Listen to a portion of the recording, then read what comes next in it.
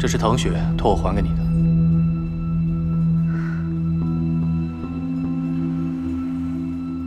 什么意思？我今天来是想提醒你，不要再继续下去了。这样也是为你自己好。为了我好？你是为了我好，还是为了夏小宁好？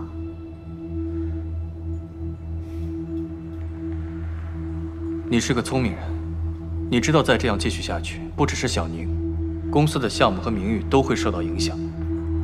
顾晨宇，在你心里是公司重要，还是夏小宁重要？你一定要这么咄咄逼人吗？我咄咄逼人？我是真的不甘心。我在你身边陪了这么多年，我一直在跟随你的脚步。你要当配音演员，我去学配音。你不想当配音演员了，你要开公司，你要成立菠萝。好啊，那我放弃配音，我去帮你打理公司。我做这些，就是希望站在你身边的那个人是我。可到最后呢？我为你付出了一切，你告诉我你喜欢的竟然是一文不值的夏小宁，凭什么？嫣然，感情是强求不来的，就算是没有夏小宁。我们之间也一定不可能，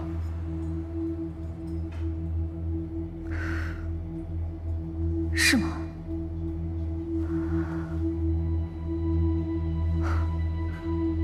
好啊，那既然如此，我跟莫不语大神也就没什么可说的了。怎么，很吃惊吗？顾晨宇，我已经知道你就是莫不语了。你还记得你跟顾叔叔的约定吗？我还真的挺想看看，如果你莫不语的身份被曝光，在感情和你的梦想之间，你到底会选择哪一个？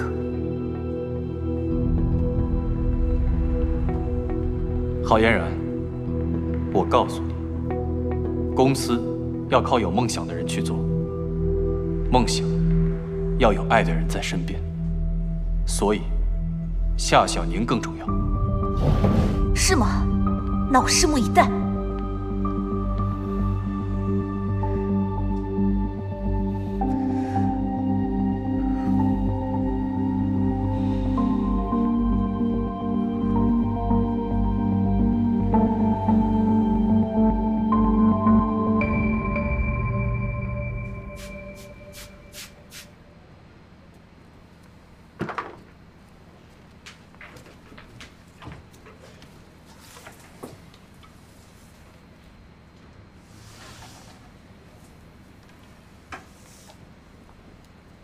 你怎么了？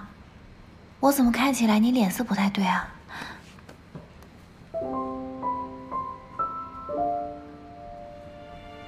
是发生什么事儿了吗？别动，让我多抱一会儿。